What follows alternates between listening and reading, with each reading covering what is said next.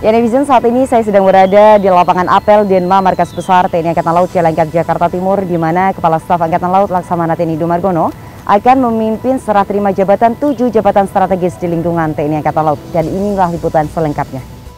Tujuh jabatan strategis di lingkungan TNI Angkatan Laut diserah terimakan pada hari Rabu 2 Februari 2022 dan dipimpin langsung oleh Kepala Staf Angkatan Laut Laksamana TNI Yudo Margono serta dihadiri oleh pejabat utama Markas Besar Angkatan Laut dan para Panglima Komando Utama. Pelaksanaan serah terima jabatan yang dilaksanakan di Auditorium Denma Markas Besar Angkatan Laut, yaitu Kepala Dinas Potensi Maritim Angkatan Laut diserah terimakan dari Brigadir Jenderal TNI Marinir Marcos kepada Brigadir Jenderal TNI Marinir Andi Rukman. Kepala Dinas Psikologi Angkatan Laut diserah terimakan dari Laksamana Pertama atau Laksma TNI Wiwin Dwi Handayani kepada Laksma TNI Edi Krisnamurti. Kepala Dinas Pembinaan Mental Angkatan Laut diserah terimakan dari Laksma TNI Ian Heriawan kepada Laksma TNI Darajat Hidayat. Sedangkan jabatan Kepala Rumah Sakit Angkatan Laut Dr. Ramelan diserahkan dari Laksma TNI Dr. Radito kepada Kolonel Laut Kesehatan Dr. Gigih Iman Taje.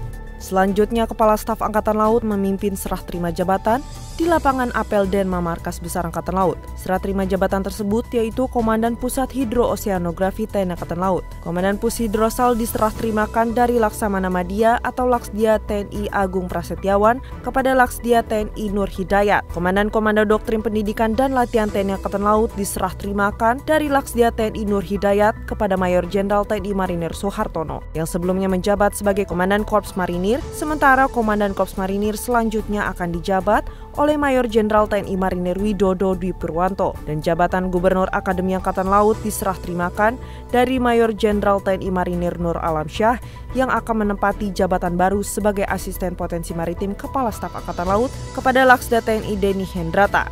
Dalam keterangan pers kepada awak media, Kasal menyampaikan, uh, Kormada 1 tidak harus pindah, tidak harus pindah. Namun demikian, ya tentunya Kormada ini kan harus bisa mengantisipasi perkembangan situasi atau trouble spot yang terjadi di wilayah uh, perairan Indonesia ini. Kalau Kormada 1 tentunya trouble spotnya kan di Natuna, Selat Malaka, Selat Singapura maupun di perbatasan dengan India. Nah tentunya dengan daerah operasi yang menjadi prioritas itu, nah tentunya akan lebih efektif apabila Kormada 1 berada di wilayah Kepri, ya, pas tengah-tengahnya kan kalau bisa diambil. Terus Omikron, jadi kita tahu semua, Omikron sangat cepat sekali perkembangannya termasuk di lingkungan Angkatan Laut. Kita sudah menyiapkan yang kemarin tempat untuk isolasi ya di Jakarta, yang kemarin di uh, Marinir, kemudian di Surabaya juga demikian di Jalan Opak dan tempat-tempat yang tentunya saat ini sudah saya siapkan. Pada acara ramah tamah Kasal mengatakan, kemudian kepada para jabat baru ya saya harapkan bisa meningkatkan kinerja dari organisasi yang telah diterima. Ya, semata-mata untuk kemajuan Angkatan Laut, untuk kebesaran Angkatan Laut yang selama ini sudah kita pikir, sudah kita intis dari sekarang ini kalau kita harus berkomitmen untuk Angkatan Laut ke depan harus menjadi besar dari Mabesal kita beralih ke Pusat Polisi Militer TNI Angkatan Laut di mana Kepala Staf Angkatan Laut Laksamana TNI Domargono akan membuka secara langsung kejuaraan nasional karate Kasal Cup tahun 2022. Dari Pusat Polisi Militer TNI Angkatan Laut Kelapa Gading Jakarta Utara inilah liputan selengkapnya. Saya menekankan kepada seluruh polisian dan para karateka bahwa kejuaraan karate Kasal Cup tahun 2022 merupakan pertandingan yang tidak semata-mata mencari kemenangan tetapi sebagai perwujudan pembinaan personil dan pembinaan satuan dalam rangka menjalin soliditas, persatuan dan kesatuan. Bertempat di gedung RB Supardan Pusat Polisi Militer Angkatan Laut, Jalan Boulevard Raya Kelapa Gading Barat, Jakarta Utara, Kepala Staf Angkatan Laut Laksamana TNI Yudo Margono membuka kejuaraan nasional Karate Cup 2022.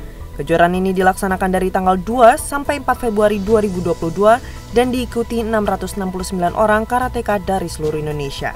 Dalam amanatnya, Kastel menyampaikan, Karate sebagai kemahiran bela diri hendaknya diimbangi dengan sikap ramah tamah dan sopan santun, serta tidak menggunakannya untuk merugikan rakyat. Dengan untuk menakut-nakuti rakyat maupun menyakiti hati rakyat. Namun dalam kondisi tertentu, kemahiran bela diri perlu digunakan secara terukur untuk membela kebenaran, menjaga kehormatan diri, kehormatan keluarga, kehormatan satuan maupun kehormatan negara dan bangsa. Beberapa jenis dan kelas yang dipertandingkan yaitu open dan intern serta kata dan kumite. Dari kategori pemula, kadet, junior, dan senior dengan jenis pertandingan kata perorangan atau beregu, putra dan putri serta kumite putra dan putri. Sementara kategori khusus diikuti dari karateka TNI Polri dengan jenis pertandingan kata perorangan atau beregu dan kumite. Turut hadir dalam kegiatan ini pejabat utama Markas Besar Angkatan Laut, para Panglima Komando Utama dan Komando Pusat Polisi Militer Angkatan Laut. Tadi baru saja kita buka untuk uh, kejuaraan karate Kasal Cup.